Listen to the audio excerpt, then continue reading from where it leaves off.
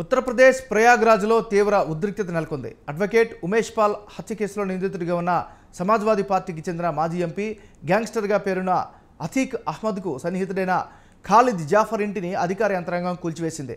ఉత్తరప్రదేశ్లో మాఫియాను నామ రూపాలు లేకుండా చేస్తారని ముఖ్యమంత్రి యోగి ఆదిత్యనాథ్ ప్రకటించిన నేపథ్యంలో ఈ కూల్చివేత సంఘటన జరిగింది. రెండు వేల ఐదు నాటి బీఎస్పీ ఎమ్మెల్యే రాజుపాల్ హత్య కేసులో న్యాయవాది ఉమేష్ పాల్ ప్రధాన సాక్షిగా ఉన్నారు.